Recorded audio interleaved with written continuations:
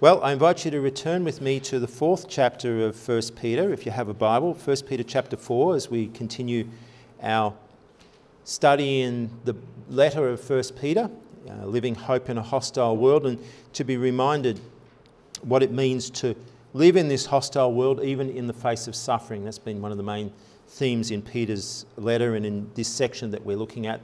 That's what he continues to cover. And last week we considered the fact that how we are to be motivated to live for the Lord in times that are uh, hostile, in these perilous times, but also in times of suffering.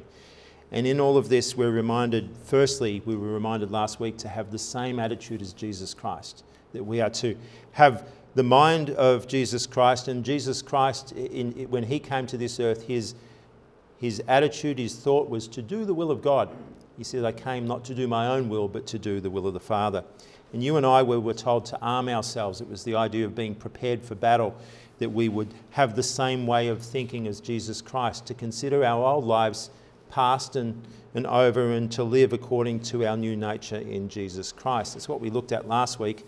And I'm not going to go through this outline uh, that we looked at last week, but we're up to the second part of this. And so if you missed that last, watch, watch last week's message. But um, today we're going to look at the next motivation the next encouragement that Peter gives us to live for the Lord, which is related to the urgency of time. And as we've been singing this morning and being reminded that time is running out, the end is near. And Peter actually says, as he's already said, that we're no longer to live to the lusts of the flesh, to live to our own desires, but we're to live to the will of God. And so I want us just to read, uh, jump straight into verses 7 through 11. And in this, we're going to see that Peter reminds us of a reality. It's a sobering reality, but it's also for us not something we should be scared about. It's something that we're told that we should be comforted by and how we should be, respond. And so today we're going to look at living in the light of the end, living in the light of the Lord's return. Let's read 1 Peter chapter 4, and we'll read verses 7 through 11, and we'll pray, and then uh, look at what this passage tells us this morning about how we are to live in the light of the end. 1 Peter chapter 4, beginning at verse 7, and Peter writes, But the end of all things is at hand. Be ye therefore sober and watch unto prayer. And above all things, have fervent charity. The word charity means love among yourselves, for charity shall cover the multitude of sins. Use hospitality one to another without grudging. As every man has received the gift, even so minister the same one to another as good stewards of the manifold grace of God. If any man speak, let him speak as, as the oracles of God. If any man minister, let him do as of the ability which God giveth. That God in all things may be glorified through Jesus Christ, to whom be praise and dominion forever and ever. Amen. Lord, we thank you for what we've just read. We thank you for the reminder, as even we've sung this morning, that you are the God from everlasting to everlasting. And Lord, just as you began all things, we know that you will bring all things to a conclusion. And Lord, as we live today in this world, we understand that this, this life that we have here, while there are many great things to enjoy in this life, we know that this is, this is not where our hope is. Our hope is in in a future with you. Our hope is in heaven and ultimately in your return to this earth. And so, Lord, we today ask that as we read this passage and we think about what it tells us, Lord, we surely would be living in the light of the end. Lord, we don't know exactly when that's going to be, but Lord, we are to live, as you tell us, in anticipation of that event. And Lord, as we understand what that means, help us truly to live to give you glory in our lives. And we thank you in Jesus' name. Amen. Well, we just read the main sort of introduction to that. The end of all things is at hand. You know, there's been a lot of talk about that, um, not just in, in churches, and I know a lot of churches talk about end times and things like that, but also in the world we know that um, there's a lot of doom and gloom and impending disaster, and, and a lot of people are saying, look, you know, we're running out of time. Uh, we know that even this week we're living in the threat of potentially nuclear war and World War III, and uh, you know that's something that we've really never had before in our lifetimes. Uh, we see a lot of things changing in the world. And one of the things we also hear a lot about is this whole climate agenda. It was interesting, I was reading a couple of weeks ago uh, where Prince Charles and uh, was in London with the Mayor of London, and they unveiled this another one of these climate clocks. You know, they say seven years left uh, and all of this stuff. And I'm just reading um, this article that said recently uh, King Charles III launched a new clock that will count down to 2030, a year that the government claims will mark serious consequences for the world's climate. The climate clock was unveiled at the Climate Innovation Forum that was uh, held in London on June 28th. This clock, which will be broadcast to 150 public screens around the UK, is inspired by the IPCC, you might have heard of them, and the Millennial Change Corporation, whoever they are, that tell us that, that in order to, uh, we have to limit global warming to uh, 1.5 degrees and take action in the next six years. Well, it says, Today with King Charles, uh, His Majesty King Charles, we launched the climate clock, a visual reminder of the urgency of the climate crisis, said Nick Henry, CEO of Climate Action. The climate emergency uh, poses a threat not only to the future of our city, but the future of our world, and that's why it remains a key priority. The climate clock tells us what to do and by when. You might wonder why on earth did I start talking about climate change? I'm not talking about climate change. I'm not here to talk about that. Whatever you, uh, your views are on that, um, the reality is, is that um, we know there's been a long time people saying the world's going to end and we have to do things. And obviously, what they want us to do is follow their seven year plan, all the things that go with that. Whatever you think of that, but we don't follow a climate clock. That's really what I wanted to, to uh, introduce to remind us that. We don't really follow these uh, plans and agendas of man. Rather, we have a clock that's based on God's word and what God tells us. And God actually tells us, yes, the, the, the end is at hand, the things, all things are coming to conclusion, but it's not man's doing, it's God's doing. God, who created this world, will bring all things to completion as well. And He has a plan, a purpose in doing that, and that is, is in his time, but also he gives us plenty of instruction as that as well. And so we don't need to follow a seven-year plan, a 30-day plan, a seven-month plan. What we find here is that God actually gives us uh, his plan, and his plan is live every day. Live every day as if it were our last, and live in anticipation of the Lord's return. And that for us brings us hope. It's not something, you know, we, the, the climate change people and all of that really want to scare us. They want us to motivate us. They say there's a crisis happening. Now, we know there's judgment coming to this world, and as we'll see a bit this morning, there's plenty of things that are going to happen that God says is going to happen, and we believe that. We believe what the Bible says about that. Um, but for you and I, if we are in Jesus Christ, the, the coming of the Lord, as we've sung, you know, May it be soon. We want it to be soon because we look forward to it. We will escape the sin of this world, we'll escape the trials of this world, and we will be with Jesus Christ. And this is a wonderful um, reminder for those who are going through suffering, and particularly Peter's writing to these believers back in the first century that are going through much suffering, they're going through persecution, and he's one of the things he wants to remind them about the suffering that they're going through for the sake of the Lord is that the end of all things is at hand and therefore he's actually going to give some, some uh, counsel to them as to how they're to respond to that. Just to break this passage down very quickly this morning, in those verses we've read, we'll notice three things. There's a, a reality to consider. That's what we're going to start off with. The end of all things is at hand. We understand what that really means. And, and then secondly, what, what should we do about that? How should we respond? What are we to, how are we to live? Well, God gives us some very clear things here. It's interesting. I, am very thankful that we don't have to wonder about it. You know, oh, well, there's not much time left. What do I do? Let me try and figure it all out. No, God actually says, here's how you're to live. And the wonderful thing that we see there is how we're told to live in the light of the end is how we're to live every day as Christians. That's the wonderful thing. And then finally, we'll notice that there's a reason for all this. What's going to motivate us to, to live for the Lord in these, in these last days? And we'll look at that. So let's take a look at, firstly, this reality to consider. And notice in the beginning of this passage, he says, But the end of all things is at hand. What does he mean by that? What does the end of all things mean? Now, some have actually said you, we know it's Peter that's writing this, and Peter, within a few years of this, is going to he's going to be crucified. He's going to be uh, by Nero under Nero. He's actually going to be executed, and so that's going to mean the end of his life here on earth. Is he talking about that? Well, I don't believe he is, because he firstly he's not aware of that at, at this point of time, but secondly he's talking to believers, that wouldn't really bring any comfort to them and encouragement to say, hey, by the way, I'm going to be gone soon. Nor is he saying, as this time frame, and we believe this is written in the early 60s uh, AD, uh, and we know that in 70 AD, the Jewish temple in Jerusalem was destroyed. And some say, well, he's really talking about the Jewish system of, you know, the religious system, the sacrificial system, the temple, that's all going to be destroyed. And He's not talking about that either. There's a book that really in the Bible that does warn uh, Jewish Christians about that, and that's the book of Hebrews.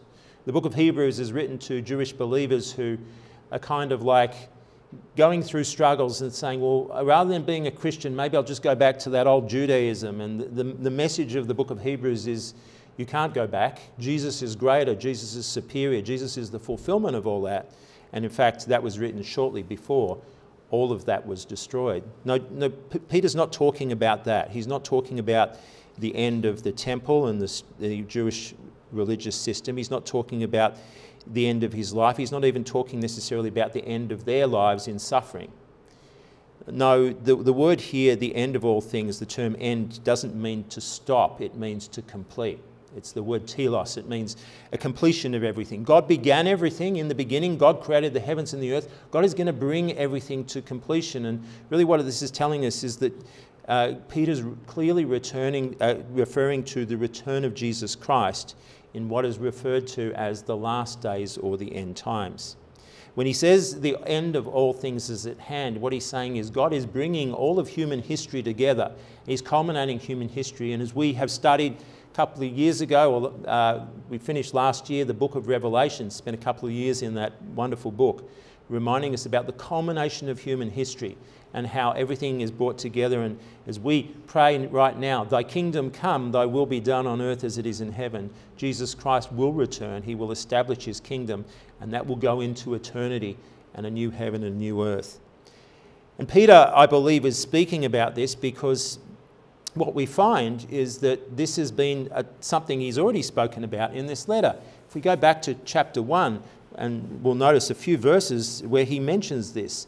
He starts in, the, in chapter 1, verse 5, talking about that we are kept by the power of God through faith to salvation, ready to be revealed in the last time. In other words, the conclusion is coming to, and we're ready for this last time. A little further on in chapter uh, verse 7, he says that the trial of your faith being more precious of gold that perisheth, though it be tried by fire, might be found to the praise and honour and glory at the appearing of Jesus Christ. He's talking about the return of Jesus Christ to this, this earth. And so these are the things that bring uh, these hope and comfort to these believers. And then we are told, even in verse 13, that we're to gird up the loins of our mind, to be mentally prepared, to be sober. And there's, there's, we'll see this today, similar um, instructions but to hope to the end for the grace that is to be brought to you at the revelation of Jesus Christ.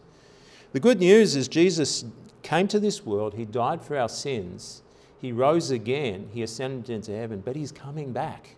And He's going to come back and He's going to set all things right. He's going to deal with sin, He's going to judge sin, and He's, and he's going to bring in an everlasting kingdom that begins on this earth and then will uh, go into a new heaven and a new earth. That's, that's the message of the Bible. Well, when will this happen? Notice he says the end of all things is at hand. And that word at hand actually means it's going to be, it's soon, it's, it's, in, it's uh, inevitable, it's going to be uh, near. In fact, the, the, word actually means that it's just kind of just on the, on the verge, just on the corner, just um, we're expecting it at any time. And that's what uh, we read in the scriptures here, um, that we notice that even in these verses, we've been told that, you know, this is something that we're to anticipate. Now, the last times we're told uh, uh, are something that we are in today. Now, a lot of people say, "Oh, we're in the end times." Well, we are. Um, we're in the end times because um, the, the, end times began with Jesus return, Jesus coming to this earth. And we'll look at Hebrews chapter one in a moment regarding that. But this is really teaching what a doctrine that the Bible talks about, which is imminency. Imminent means something's likely to occur at any time. And what God is actually telling us is that the, the return of Jesus Christ is something that we look forward to at any time. Now, 2,000 years ago, when these writers of the New Testament wrote it, they were anticipating it as well. And if you take some time to read through the New Testament, you'll find that nearly every book in the New Testament talks about the return of Jesus Christ. And every New Testament writer is living in anticipation of that. And so we're not going to look at all the verses, but I want you to understand that this this last days, as I just mentioned, began with the coming of Jesus Christ in his first coming. In Hebrews chapter 1, the writer of Hebrews says, God, who at sundry times, various times in diverse manners, spake in times past unto the fathers by the prophets, has in these last days, in the last days, that has spoken to us by his Son. In other words, in the Old Testament, God revealed his will through the prophets, but then he sent his Son into the world, God the Son, Jesus Christ, whom he hath appointed heir of all things, by whom he made all the worlds. So the last days refer to begin with Jesus Christ coming to this earth. And then we come to Romans chapter 13. So I just want to show you the different writers of the New Testament. We could look at lots of verses relating to this, but I want you to understand that very much in the, in the mindset, um, once Jesus had, had gone away. In fact, we notice in Acts chapter 1, his disciples said, Will you come and restore the kingdom at this time? And he actually said, You're not to know the days and the, the time, but he says, The Holy Spirit will come upon you to go into the world and uh, to be witnesses of me.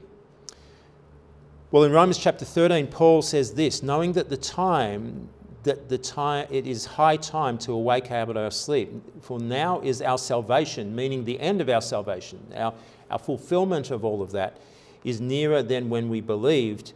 The night is far spent, the day is at hand. We looked at this verse last week. Let us cast off the works of darkness, put on the armour of light, fitted in with arming our minds for the will of God.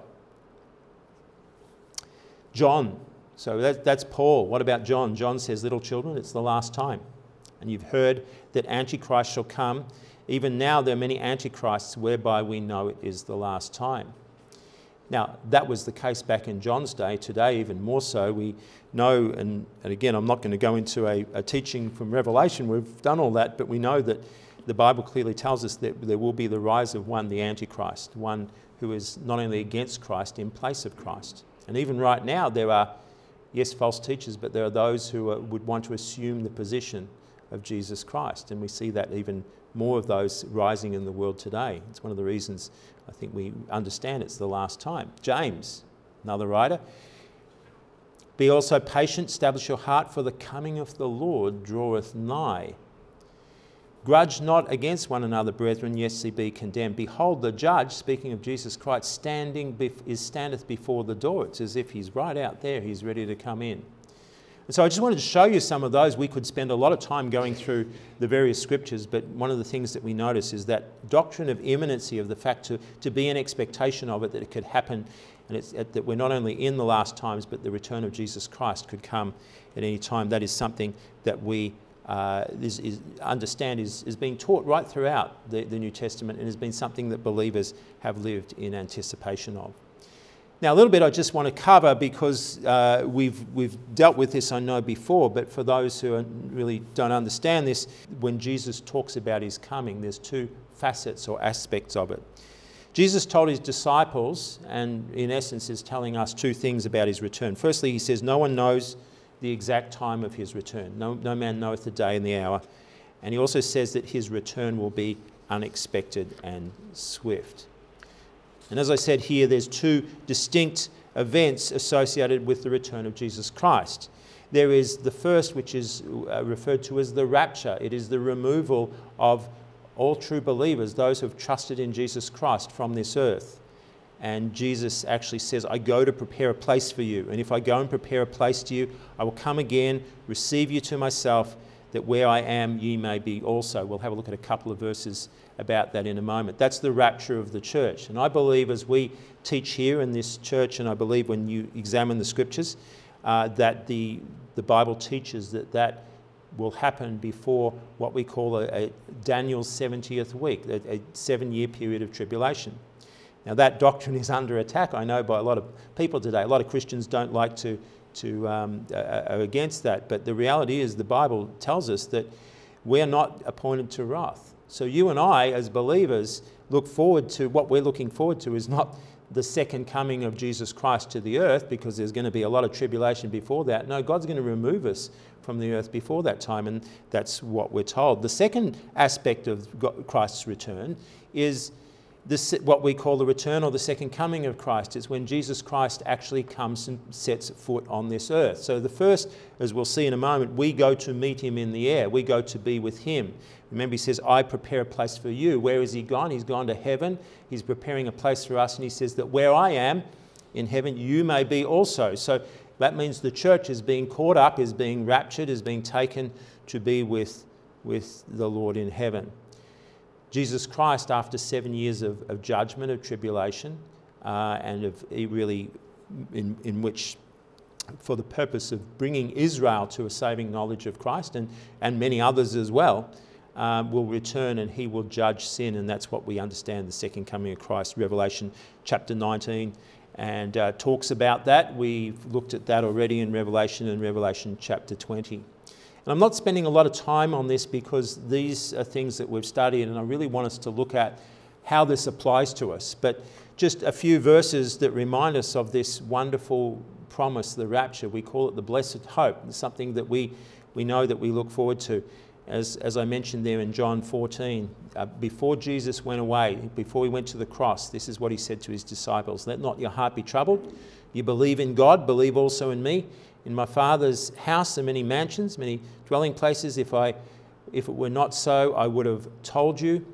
I go to prepare a place for you. That's what he's doing right now. And if I go and prepare a place for you, I will come again and receive you unto myself, that where I am, there ye may be also. Well, how's that going to happen? And why? And this is something, as we said, is, is imminent. It's something that the Old Testament talked about the second coming of Christ. The New Testament talks about it too. There's many prophecies about the return of Christ. But the rapture, we're told, is something that was not revealed in the Old Testament. It is what was referred to as a mystery. And, and Paul says this to the Corinthians Behold, I show you a mystery. In other words, something, something new, something that has not been taught in the Old Testament. It's just been hidden in the Old Testament. Doesn't mean it, it, it wasn't uh, something part of God's plan.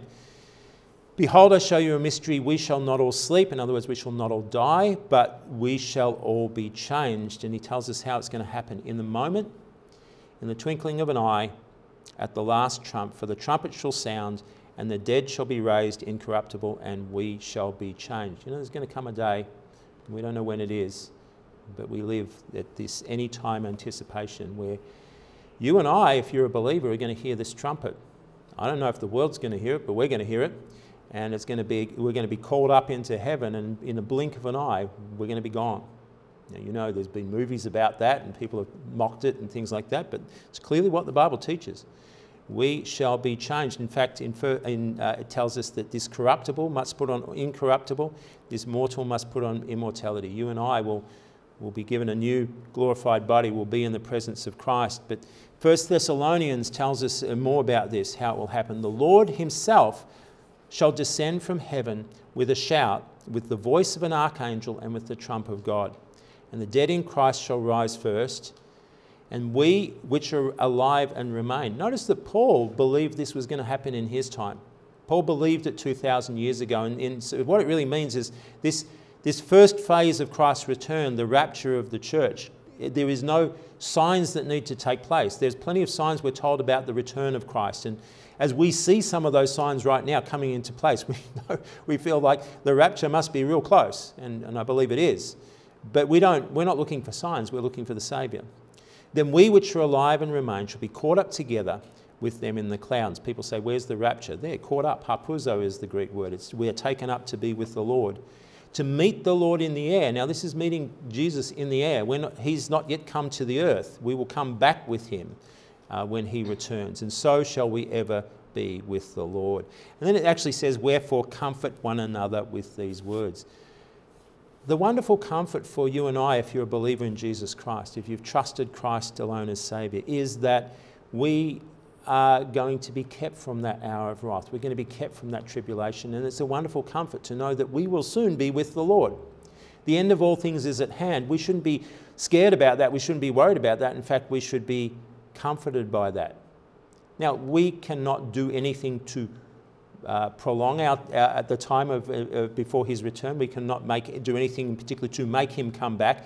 God has set the hour and the day. We're to be faithful in following him, but we're to realize that that could be at any time. In back and right throughout uh, church history, right from the time of those early believers and, and Peter and Paul and James, John, those writers, they all expected that, that Christ could come at any time. Some have said, well, look, it's been 2,000 years and he hasn't come yet. Peter is actually going to say in his second letter, yeah, well, that's what would happen at the last days. There would be mockers, scoffers saying, where's the promise of his coming? Yet another reminder that, that um, God's word is true.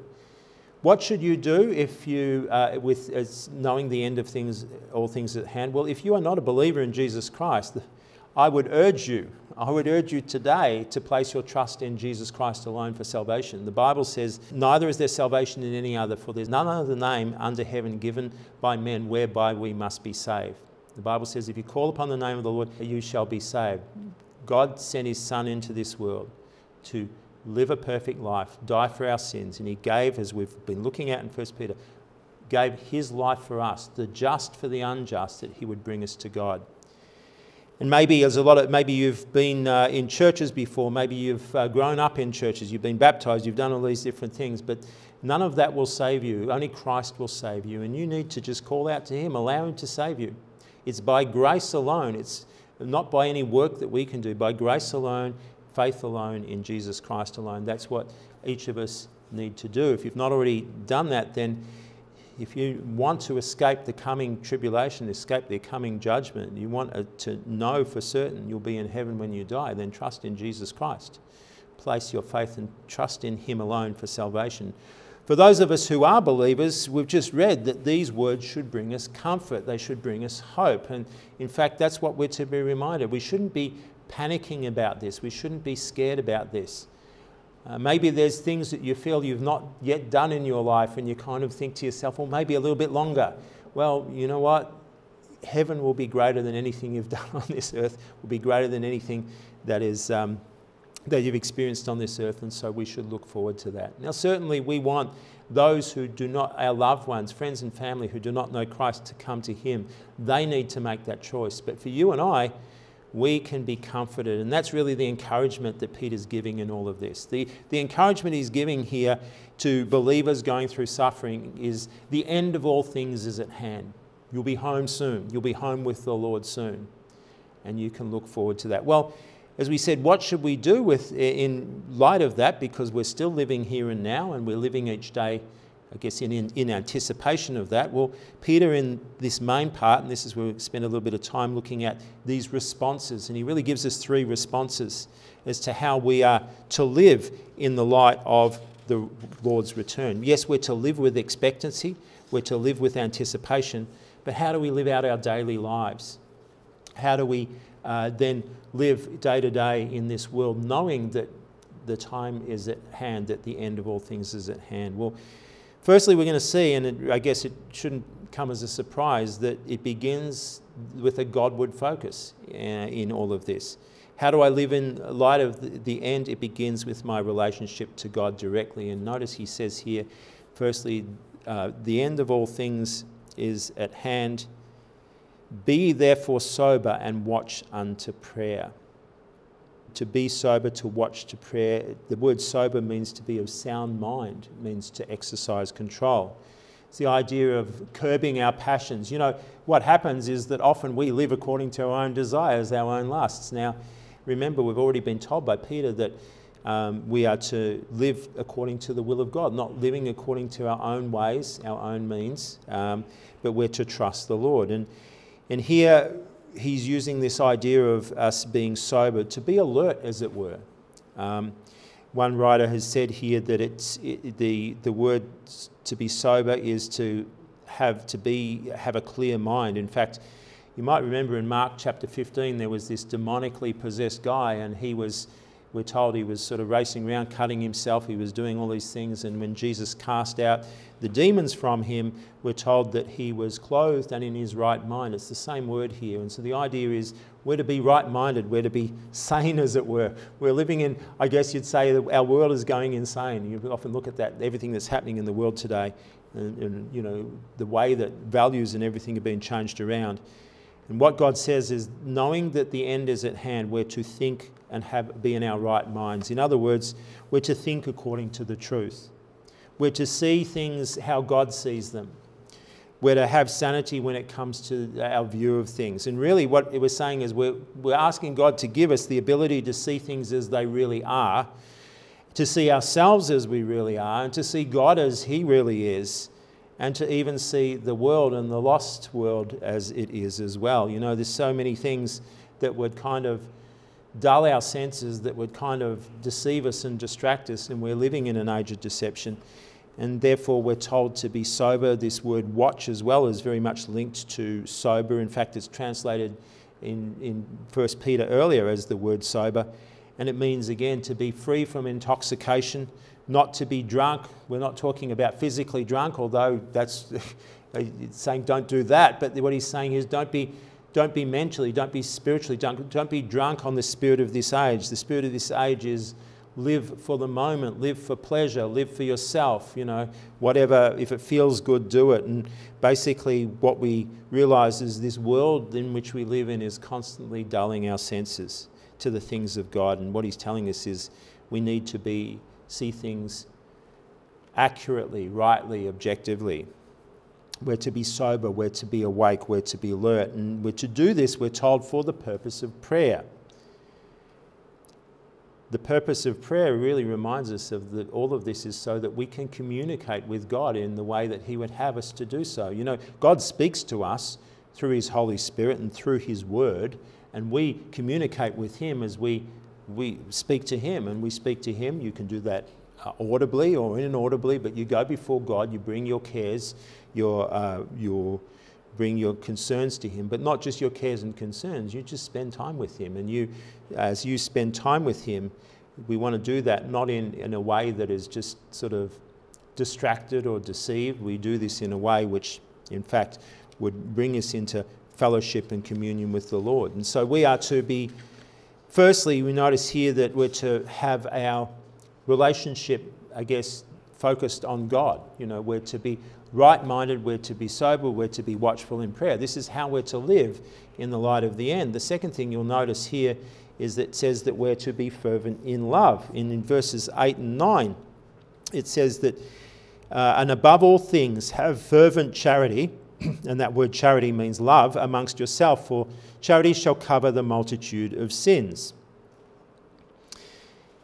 we're to have firstly our focus on the Lord, and this really is, you know, how we see it to, to focus on the Lord, to love God, to have a, our, our walk with Him, and then as we love the Lord, it causes us also to look at one another and to have love one for another. Now, this might seem a little bit surprising that he's saying really that we're to love one another, and really he's talking about within the church. Now, thinking the days that we live in and thinking that there's not much time, maybe your first focus is, well, you know, we need to get out there and, and reach the lost. And certainly we do. We need to tell people about Jesus. But really, what he's saying here is, above all things, there's a priority for us, and our priority is that we love one another.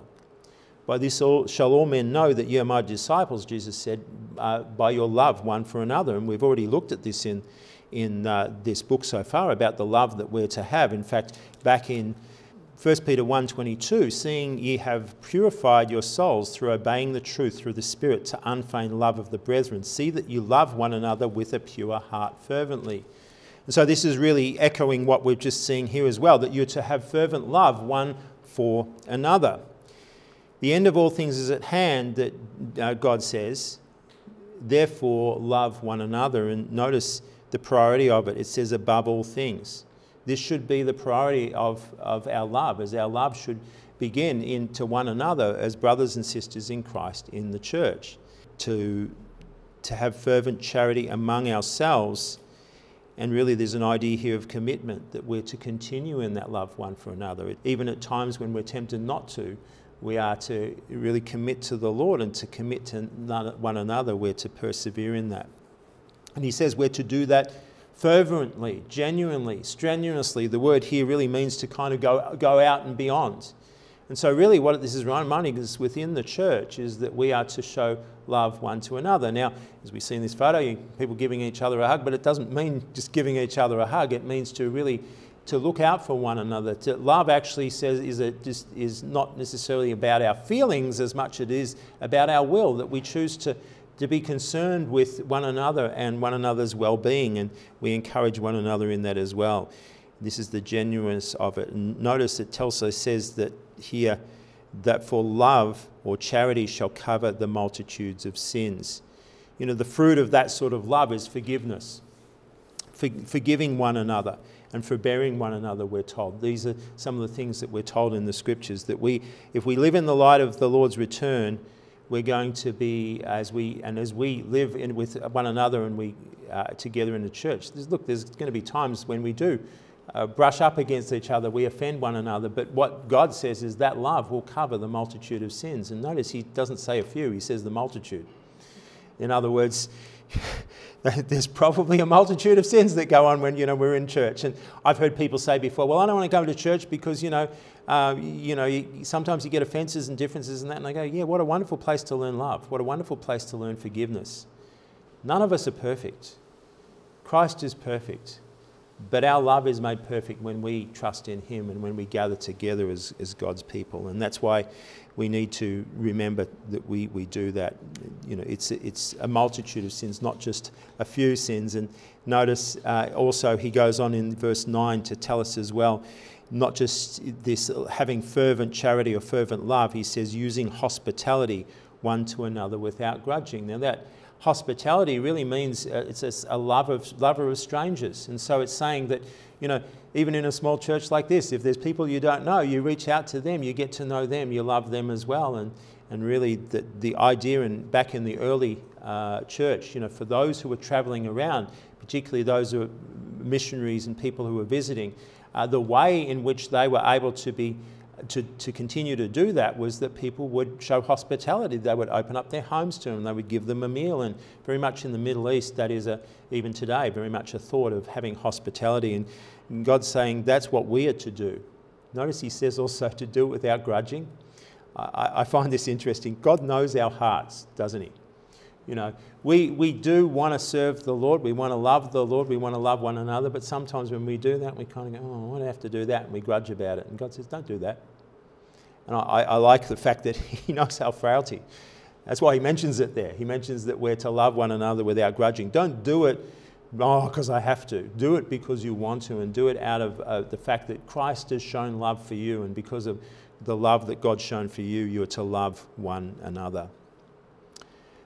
Well, finally, we notice that the third response here is that we are to be faithful in service. You know, when what do we do here in living in the light of the end, living in the light of the end of all things? Well, we're told we're to be watchful in prayer, we're to be fervent in love, and then also we're to be faithful in service. Notice here in verses 10 and 11 as every man has received the gift, even so minister or serve the same one to another as good stewards of the manifold grace of God. Really, what he's telling us here is that every one of you, every one of us as a believer, when we trusted in Christ, God has placed in us and given us a, a gift, a gift that has been given by the Holy Spirit for us to use to serve the body of Christ, to glorify God, to help, to serve one another, to serve the church. And what we notice here, it says, as the manifold grace of God reminds us of the fact that there's different gifts that have been given to different people. And I would say that no two, person, no two people have exactly the same mix of gifts. This manifold grace of God is the idea of it's multifaceted. And so what we realize is that when God saved you, He saved you, yes, to bring you to heaven, but He also saved you to, to serve. He saved you to to uh, give you a purpose in, in this life in terms of how you are to serve Him. And you, to do that, we, we find within the, the local church. When you read the letters that are written, um, you know, you can do it outside the local church, but much of it, we're told, is given in the, in the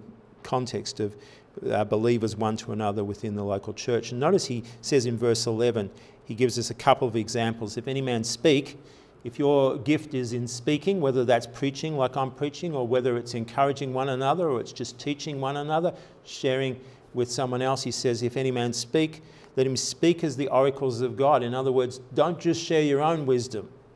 Don't share your own thoughts on things. If I got up here today and you, you know I'm, I'm preaching through the Word of God, but if I just told you, here's my thoughts on things, it's not really very helpful, is it? You need the God's wisdom, you need the Word of God. And that's why in this church, I know sometimes our, our messages are long and they're thorough, but I'm trying to, what I, I want to do is to teach the Word of God because really that's what you need. That's what we all need. He says, if any man teach, let him speak, let him speak of the oracles of God. But if any man minister, if he serves, it says, let him do with the ability that God giveth. In other words, whatever you do, whether your gift is involving speaking to one another uh, or your gift is involving serving to one another, do it by God's ability, do it by God's grace, do it in God's wisdom, essentially, is what he's telling us. Um, you know, God will give us the ability to serve Him, and He'll give us, as, as He gives us, He gives us the, the means by which we can do that. And so we're being told here that the way that we bless one another, the way that we live, the way that we be faithful in service is to do that in the power that God gives us. You know, too often we try to do things in our own strength, we try to do things in our own wisdom, but God says, Look, I'll give you guidance, I'll help you if you, I'll help you use your gift for the glory of God. Some people say, well, what's my gift? Uh, you know, there's all sorts of, today people have all these little surveys and things you can do to find out your gift. It's quite simple. Just do something for the Lord. Just serve the Lord and God will direct you. And you know, I've found after, after years and after I've found after years of my own uh, being in churches and, and, and following Christ, I never thought I'd be doing this. I never thought I'd be teaching. That wasn't how I started my Christian life. But over time, God God uh, made it clear that this would be something I do. And God, whether it's, whether it's helping uh, just physical things around the church, whether it's helping one another, it's encouraging one another, it's financial giving, whatever it is, uh, however God would have you to serve Him, just start off serving Him. He'll direct you, and others will see. Yeah, you know that's that's really we you know that's where God's gift is in, in gifting you for that. Uh, there was a, a reality to consider there's some requirements there to obey. And then finally, why do we do all this? Why would you live out this fervent, this watchful in prayer, fervent in love, faithful in service? Why would you do all that? Well, it finishes up really by telling us this in verse 11 that God in all things may be glorified through Jesus Christ. You know, whatsoever you do, whether you eat or drink or whatsoever you do, do all for the glory of God. God wants us to realize that, you know, we live, we live in the light of the end. We live in this such a way, not for ourselves, but for the glory of God, not for our own glory, but for His. You know, maybe you're hesitant about, about some of these things, about, you know, reaching out to, to really show love towards one another, about serving uh, the Lord. Why do I do this? Well, it's for God's glory. God is to be glorified in every area of our life. And notice it, it says, God in all things may be glorified, in everything that we do and it's been, it is through Jesus Christ, we're told. You know, God has the idea that we understand here is that the glory belongs to God, it belongs to Jesus Christ. We understand that Jesus came into this world, He saved us, He saved us from our sin, He brought us to be with God. And the way that we serve God is through Jesus Christ, which because of Christ, you know, we cannot come into the presence of God. We could not um, come to worship God if, apart from what Jesus Christ has done for us. And to Him, we're told, be praise and dominion forever and ever. You know, that's what's going to happen at the end when He comes back. Right now, He is to be given praise and He does have dominion, but that dominion will come and he'll set it up on the earth. We know that when he returns, he will establish his kingdom on earth, thousand years, and then goes into a new heavens and a new earth. There'll be a uh, that we look forward to with that. So that's the plan. That's the, that's the motivation that God would be glorified. Really, what he's saying is that, you know, we should be saying, well, God, be glorified in my life. Um, we sing that hymn, don't we? Uh, be glorified in our life. And, and that we would be in our prayer life, in our love for one another, in our service to the church. And, and as we live right now, not knowing that hour, but really as, as in anticipation of that. And I haven't really gone in today about, you know, we've, we speak, we've spoken before about Bible prophecy and the things related to that, but I really do believe these times are drawing nearer that we, uh, to, to, to what we know will happen at the Lord's return. But we don't look for those signs, as I said, we look to the Saviour, and we're told this. The end of all things is at hand. Live in light of the end. And as it says here, that to Jesus Christ, and to God, to Jesus Christ, who praise and dominion be forever and ever. And we say to that, Amen. May it be so. May it be so that Christ would have dominion over all the earth. Come, Lord Jesus, thy kingdom come, thy will be done on earth as it will, is in heaven. And that's what we desire. Well, let's pray. As we covered quite a bit in that, but just uh, to be mindful of these things this morning. Father in heaven, thank you for our time together in your word. Thank you for this um, reminder, Lord, of the day we live in. Lord, truly the thing, the end of all things is at hand. You are coming soon. And Lord, we know that uh, we live right now in anticipation of that day. We're looking for that blessed hope, that glorious appearing of our great God and Saviour, Jesus Christ. Lord, we, we live uh, now uh, not only in anticipation of that, we want to live as people that uh, follow you, that obey you, and Lord, I pray if there's anyone here today, Lord, that maybe this is, uh, this is new to them or even that they, they've not trusted in Christ for salvation. Help them to know that apart from salvation in you, they are awaiting judgment. A judgment that you are not, you have said you're not willing that any should perish, but all should come to repentance, to a change of mind that brings a change of heart, and that change of mind is about who you are. We know that you are the Saviour. You are the one that gives eternal life. And God, we're told, is loved us so much. He bring, he, God loved the world so much that He gave His only begotten Son, that whosoever believeth Him should not perish but have everlasting life. I pray today, if there's anybody that doesn't understand that, Lord, that today they would realize that. And they would realize that not by any, anything that they can do that they can enter into salvation, but purely by receiving the gift of God the gift of eternal life. For us who do know you, Lord, help us to, to be reminded that, Lord, we have nothing to fear. Lord, we, can, we live knowing that you are, have saved us, you're keeping us, and you're keeping us until that day. And that you that began the work in us will perform it till the day of Jesus Christ. Lord, help us to be obedient to you, to be faithful to you, and to live really as we've been shown today. In Jesus' name, amen. He which testifieth these things saith, Surely I come quickly. Amen. Even so, come, Lord Jesus. The grace of our Lord Jesus Christ be with you all. Amen.